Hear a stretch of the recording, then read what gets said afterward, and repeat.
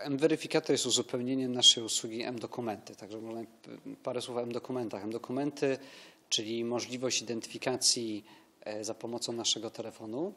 gdzie e, na naszym telefonie jesteśmy w stanie udostępnić osobie, względem której chcemy się zidentyfikować, potwierdzić naszą tożsamość, wymienić się możemy się wzajemnie naszymi informacjami z rejestru dowodów osobistych, y, które są podpisane certyfikatem i tym samym no, państwo gwarantuje ich autentyczność i wiarygodność. Teraz w sytuacji, kiedy y, jesteśmy punktem usługowym, prawda, który mu zależy na potwierdzeniu tożsamości, nie weryfikacji wieku, czy po prostu świadomości, że ktoś, komu sprzedajemy towar, po prostu no, nie jest anonimowy, no to w tej sytuacji nie, nie, nie, mówiliśmy o wzajemnej wymianie informacji, tylko chodziło o to, żeby był punkt, e, znaczy taka możliwość prostej, szybkiej weryfikacji tożsamości e, poprzez tylko i wyłącznie ten tryb sprawdzenia tożsamości osoby, która, która chce u nas coś załatwić. No i weryfikator daje dokładnie to, że można taki sprzedawca, usługodawca może sobie ściągnąć aplikację normalnie ze sklepu, ze sklepu Google na, swoją, na swój telefon i po zainstalowaniu od razu bez dodatkowego logowania ma możliwość e,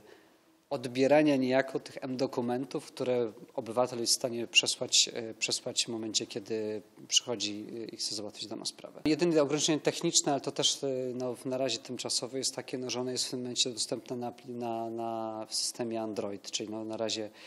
będą mogły z niego korzystać tylko, tylko te sklepy, których sprzedawcy mają smartfony z systemem Androida. E, ale to jest spójne też z samymi dokumentami, które też na razie są uruchomione na platformie Android. Natomiast w obu przypadkach zakładamy, że w styczniu powinna się pojawić też wersja na iOS-a, także pod tym względem no właściwie praktycznie cały rynek telefonów będzie do dyspozycji, jeśli chodzi o możliwość wykorzystania. Takim naturalnym rozwojem tego, o czym mówimy, jest zbudowanie rozwiązania, które będzie w stanie e,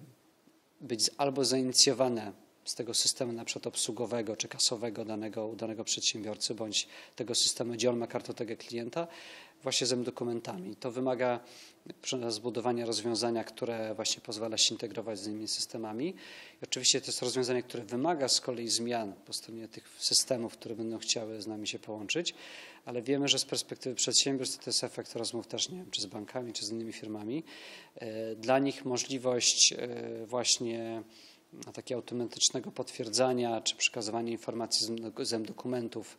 e, do ich systemu, to jest ta dodatkowa wartość, która też pozwala przyspieszyć obsługę klienta